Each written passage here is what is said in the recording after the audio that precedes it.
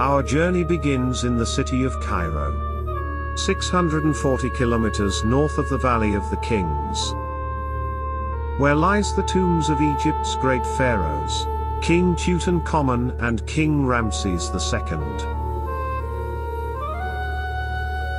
A team of archaeologists and guides has assembled, awaiting departure to begin their trek across the desert.